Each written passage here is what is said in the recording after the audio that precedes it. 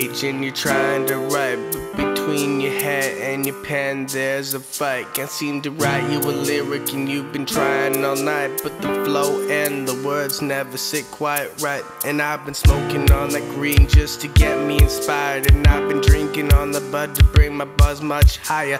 And I still can't make me a beat that let me retire. And all my lyrics feeling weak, I wanna write me some fire. So I put in my soul and my heart and brain, and then I roll up a J, and then I light up the flame. I put my pen to the pad and started out with some lame, catchy pop crap that make the crowd go insane. Then change it up in references that change up the game, like Tom Brady throwing to the wrong fucking name. And I keep putting in the work, man. I could go all day. Eventually, you're gonna make something that making your day. It's a brand new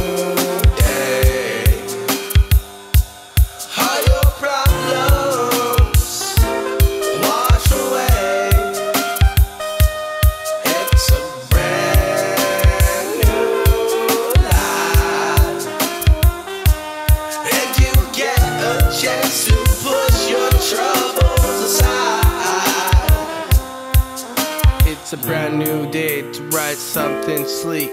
After several hours of making this beat, mix it with the blues, a little bit country, but keep the hip hop shit.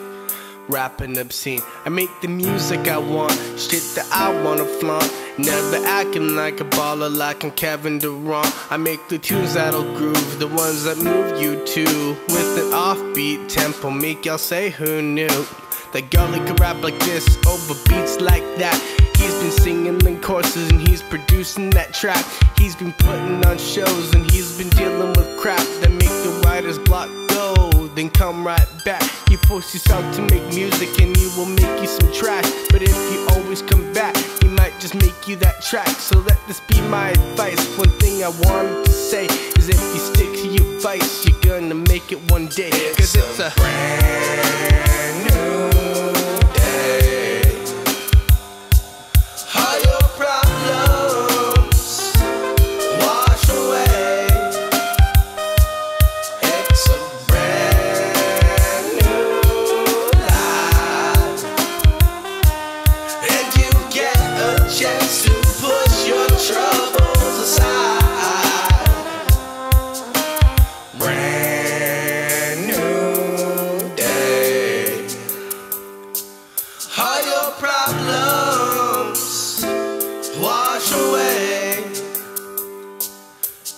A brand new life, and you get a chance to push your troubles aside.